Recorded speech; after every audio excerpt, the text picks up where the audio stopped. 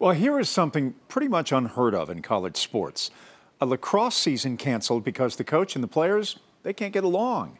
Elwyn Lopez joins us right now. This is a rare story. Yeah, it's pretty incredible, Jeff. And this is all around the new coach, Jay Goldsmith, who was brought in to take over the program. The university sent out a pretty strong worded statement from the sports information director, saying in part that, quote, it has become obvious that the old culture is unwilling to adapt to the new coach and his system. Also saying that it is, quote, not fair to ask Coach Goldsmith to expend his emotional, mental, and physical energy with a group of student athletes that has communicated its unwillingness to adapt. Now, Jeff, to me, this seems like something pretty unusual, but you know, you're the expert here, you're the pro.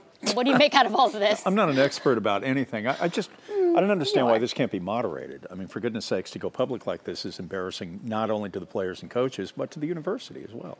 Yeah, I mean, it's an interesting statement because it seems pretty strong worded. And I want to read some more of that. We spoke to a parent, though, that was actually really reluctant to speak to us on camera, but says that the concern here for them is that because of that statement, that those players' reputations might be tarnished on campus. Now, part of that statement that I wanted to read to you says that the school takes any and all accusations of abuse and harassment seriously, saying it hasn't received any formal complaints as of yet of that. Now, we will continue to follow up on this story and bring bring you any updates as we get them.